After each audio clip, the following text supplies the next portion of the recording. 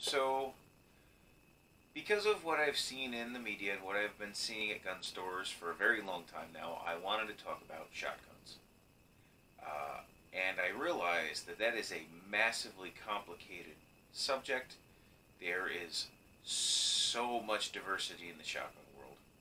There's so many different things, um, so that I wanted, I, I want to get to all that eventually, and we probably will do a bunch of videos on different things that come with shotguns. But what I really wanted to talk about is what I think, this is my opinion, the novice shotgunner, for many different reasons, be it home defense or taking quail, whatever, should be looking at to purchase. There's so many different kinds and so many different makes and, and types that it's uh, it's a very vast world out there. So, like I said, I decided to settle on what I think would be best for someone just getting into it um, for, for many reasons. And what I recommend is not a double barrel or a single action. I know those are all very simple and very easy to use, and you've seen them in the news, you've seen them on cowboy movies. I do not recommend automatics. They can be a little finicky. Uh, when I say automatics, what I mean is a semi-automatic shotgun. It's a shotgun that will load itself every one, every round they can be a little finicky, especially uh, ammo. They can be a little ammo picky. Um, so I, I, said, okay, what what do I you know what do I think would really be the best all-purpose for someone just getting into this? And I settled on the, the pump action. It's it's very iconic. It's very intuitive. Everyone's seen them, and there are many, many, many pump action shotguns out there. It's a very old design.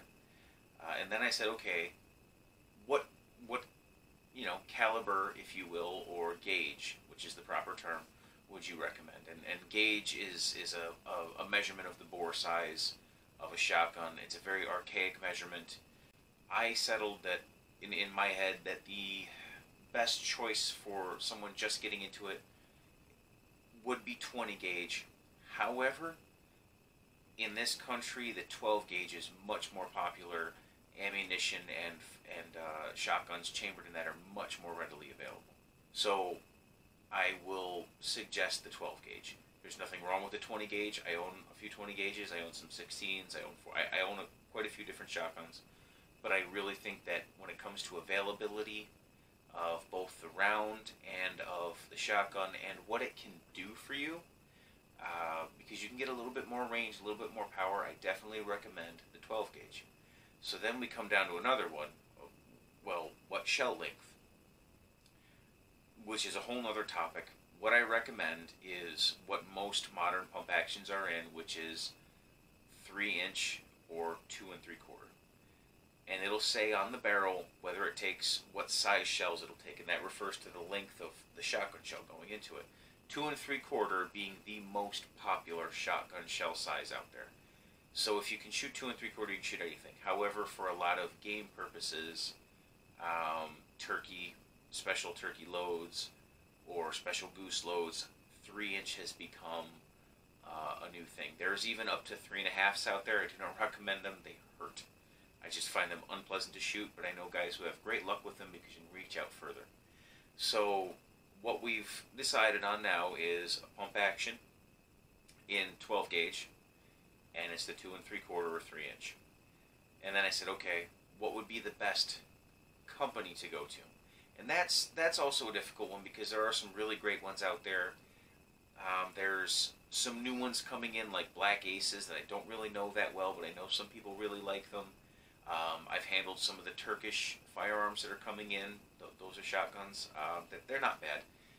What I recommend, however, is a Mossberg, preferably a 500 or 500A. And I say that because I've been shooting one since I'm 18 years old with very good luck. The 500 and 500A is a very good platform. It's been used by law enforcement. Um, it's it's very versatile, and at price point right now, uh, 12 gauge Mossberg 500 probably run you 400 dollars, maybe more. I mean, it really depends on where you are and what the shape of it is. They um, have you can change the barrels, take them apart very easily. If you want something that you can hunt deer with, you know, you can take uh, the whole barrel off. And I know people who've had the barrel fitted with a little, the, scope fits on the barrel. You take this, you take the barrel off, and you put this one with the scope on it. Bang, you have uh, a slug barrel with a scope on it, ready for hunting deer at longer range. I really recommend them. They're very handy. They're very versatile, uh, and they're they're very proven. I know a lot of people like Remingtons. I love the old Remington shotguns. The new ones, however, have had a lot of issues, and I really don't recommend them. Um, but since we're talking about the Mossbergs, I have two Mossberg 500As here. One is, is my hunting one, and one is a friend's that he has set up for, for self defense. And I want to show you something, and, and bear in mind, this is the exact same shotgun. They're both Mossberg 500As. They're both chambered in two and three quarter and three inch. Um, the only difference being barrel length and some, you know, cosmetic stuff. But frame wise, everything else, it's the exact same gun. It's just barrel length and cosmetics. So this is my friend's 500A that he has set up for um, home defense purposes. And it's, like I said, very simple. You know, it holds five rounds here in the tube. Um, the, the bottom is open. You load them from the bottom. You can't load it when the action is open. You have to close the action. And then, unlike in a Remington where there's a little thing here, you just push your round right up in. Okay? And that's in the tube. Now to put it here into the action, you have to rack it. And There's a very small button right here. You push that, the round comes down here into the action. Push it, and there it goes right in. Here is your safety. Okay, we're going to take this shell out. Okay, ejects out the side. Um, the safety is right here. Very simple safety, push and pull. Okay, red means it will fire. Black means it won't. Now this one is outfitted with a shorter barrel, and uh, it's outfitted with a barrel that stays the same diameter all the way down. If you're going to buy a shotgun, I really recommend that you go to a good gun shop and you speak with the owner or whoever's behind the counter about what you want to do with that shotgun. You know, do you want to be shooting geese at four at 40 yards with it? Do you want to be shooting squirrels? You know, that, because that will affect the barrel and that will also affect what shells you're putting through it. Um, for instance, you know, right here, uh, this is, you know, a number four shell. Very handy for, you know, uh, turkeys, things like that. And then over here we have, you know, slugs, which you use for large game. So really talk with your gun store owner or, or professional about what you want out of it before you buy it. But that is the great thing of this is shotguns are extremely versatile, and the 500 is even more so. So like I said, this one is set up so that you have the same diameter here, so you can't really change the way the pattern of the shot is going to come out the end, but it doesn't matter if you're shooting at, you know, 15 yards. Um, this is one that he put together. Um, he mounted uh, a light and a laser here for help in the dark and things like that. Um, this has very simple flip-up iron sights and it's just a, a, fine little firearm. It's it's very nice. Like I said, it holds five rounds in there. You know, they do have longer or shorter ones depending on your district and, and what you're allowed to hold. Um, so I, I really like this one. It's very nice. Now, once again, to mind you, this is the exact same firearm, just a different length barrel, different paint job. This is also Mossberg 500A. And this one is for two and three quarter and three inch shells. This is a hunting firearm that I've been using since I'm 18. Same kind of safety right here. Everything else works exactly the same. You know, five rounds up in here. Um, like I said, the barrel's a little different. It's ported, and it has. It's not the same diameter all the way up. Right here at the end, we have what's called a choke, and the choke changes. It, it kind of flares the barrel in depending on what kind of choke you have on there how much it flares inwards, and that controls the shape of the shot as it comes out at the end. Now, to show you how that works, is there is a small insert in the Mossberg. Um, in most modern shotguns, really, there's a small insert that screws into the end here, and it can come out, and you can change it depending on how far you're shooting or what exactly you're shooting. So it's it's very adaptable. And I have taken squirrels, coyotes, turkeys, all sorts of things with this. Um, in some places, you can hunt deer and bear with them. They do make things called bear shot and buckshot. Um, obviously, what those names are for is what they're for. Uh, it's not my preferred, and once again, in some jurisdictions, using that can be illegal.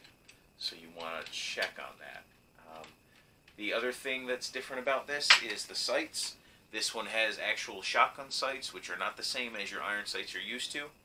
You have here uh, a little tack, and then up here you have a bead. And sometimes it'll be a white bead. This one happens to be black. And what you do is you set one bead on top of the other, basically making a snowman, and that's what you use as your sights. Not the most accurate thing in the world, but it's very proven, been used for years. Um, the other thing with this one is this one has been tapped on the frame to accept a scope. A lot of them have that now.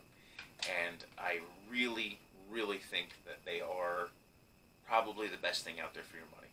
Um, we'll probably do a video on taking these apart because there is one part of that that can be kind of tricky, but swapping out barrels and stuff like that is very easy. Um, they're they're easy to customize. Uh, I just I think for what you're going to pay, a pump action shotgun is the way to go. Uh, the the one downside with something like this is that it's a pump action, so you have to rack it every time you fire. Which is, you know, obviously a, a semi-automatic has something over that, but it's worlds ahead of, say, a break action, you know, be it double, single, or triple. So that's what I recommend, and uh, I, I hope no one is too offended by this, but I definitely think that if you're just getting into shotgunning, be it for any different reason, any type of critter you're hunting, um, I really think the Mossberg 500 and 500A series is the place to start. It's a very robust piece, and it's very difficult to mess up. So that's my recommendation. And uh, if you have anything you'd like to ask, or, or if you have a different opinion, please leave it in the comments below. I'd like to hear from you. Okay. And thank you.